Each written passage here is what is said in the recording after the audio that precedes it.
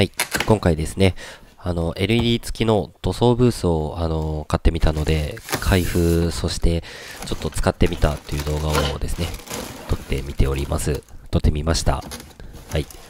で、これが AC アダプターと、多分説明書ですね。で、あの、こんな感じで入ってまして、これはあの、排気ダクトですね。なんか、何個かあるんですけれども、まあ、の、組み立てはすごい簡単だと思います。ああ、説明が雑ですね。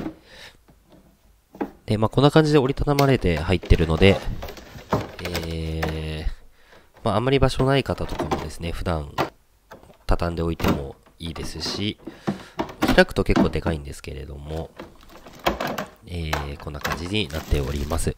で、ターンテーブルと LED は中に入って、えー、おります。この辺もですね、組み立てすごい楽で、この LED のついた棒をですね、あのー、差し込むだけで、えー、完成するようになっています。こんな感じですね。で、これ結構硬いんですが締めて、で、まあなんか、電源入れて、はい、よくある、なんか、塗装ブースのレビュー動画みたいな感じでティッシュ何枚貼り付くかってやってるんですけど、1枚、えー、これ、貼り方が悪いな。2枚、3枚、4枚、5枚。いや、雑。いや、ちゃんと、ちゃんとやるべきでしたね。まあ、大体あのー、なんだろう、5枚とか6枚ぐらいまでくっつくんじゃないかなっていう感じですね。これもっとちゃんと重ならないように開いてやるべきだったと思うんですけどね。まあ、6枚、7、あ、7までいけるか。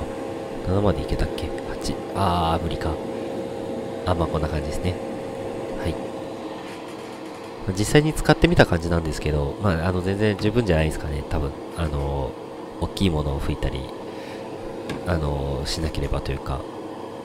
はい、サイズ感としてはこんな感じです。MD11 とタミヤセメントを置くとこんな感じです。で、まあ、ちょっと実際使ってみたんですけれども、えー、今のところ、排気能力的には、あの、まあ、僕これしか使ったことないんでわかんないですけど、全然、あの、問題ないです。で、何より、あの、手元が明るくてですね、すごいやりやすくて助かってます。はい。まあ、すごい雑な動画なんですけれども、あの、初めて、えー、塗装ブース買う方とかにはおすすめの一台じゃ、なんじゃないでしょうか。はい。ありがとうございました。